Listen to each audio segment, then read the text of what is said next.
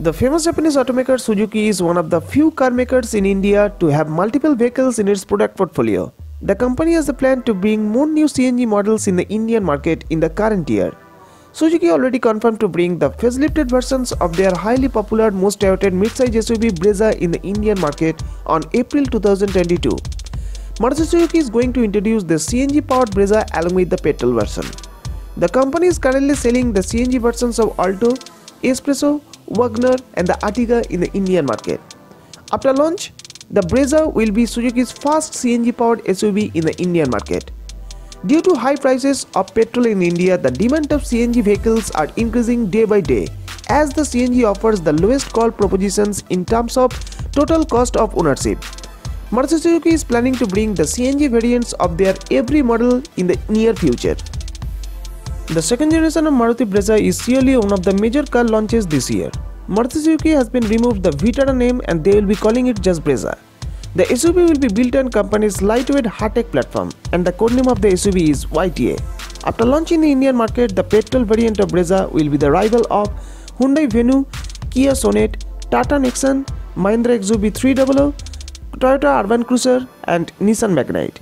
But the CNG variant of Brezza doesn't have any direct rivals in the Indian market at present. Tata Motors is planning to bring the Nexon CNG this year. After launch, the Nexon CNG will be the competitor of Brezza CNG. In terms of power, the SUV will receive BS's complaint 1.5 liter 4 cylinder K15B naturally aspirated petrol engine along with 48 volt mild hybrid system which can generate 104 bhp of maximum power and 138 Nm of peak torque.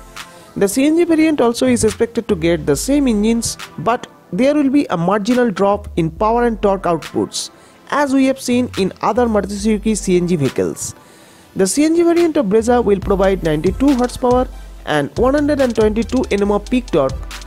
The CNG variant of Brezza will provide the fuel efficiency of 26.08 km per kg as we have seen in the Ertiga CNG. But we can expect a better efficiency from Brezza in compared to Ertiga as the Brezza will be lighter than Ertiga. Talking about the transmission options, the engine of the Brezza will be paired to a 5-speed manual or 4-speed torque converter automatic gearbox. The company may introduce the 6-speed torque converter automatic gearbox by replacing the existing AMT transmission. According to the report, Maruti Suzuki is going to offer the CNG kit on Brezza in the mid specification variants like LXI and VXI, but not on the top specification trim like ZXI Plus. According to the media report, the SUV will be launched on April 2022 at the expected price range between 8 to 12.50 lakhs ex-showroom.